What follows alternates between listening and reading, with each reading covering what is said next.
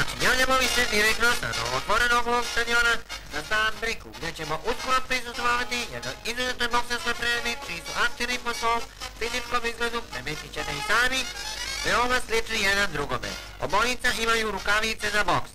Za ovu boksersku reviju bilo je prijavljeno više od dva takmičara, pa je žreb odlučio da se borba održi između Tiku i Miku. Kao što je red u profi boksu, pre početka borbe morali su se održati određena merenja i upoznavanja protivnika i tako dalje i tako to.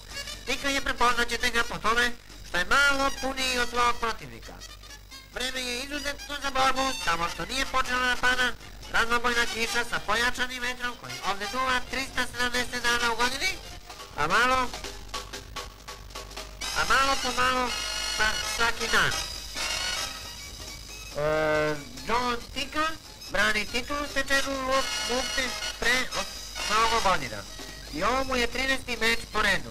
Vreme veoma dobro razbijen, odnosno razavijen, skače po ring kao veder, rođen da bije sa obe tri ruke kao ako računamo i jednu nogu.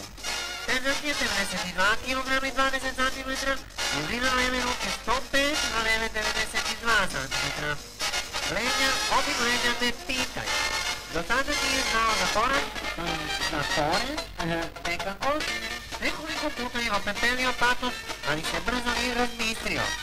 Mika, zvani kralj patosa je u ovom proboju kao zazivač, ima velike šanse i ako ne pobedi sigurno će da izgubi. Nije razvijen mnogo, ali ima veliko srce, prosto srčani bolesnik.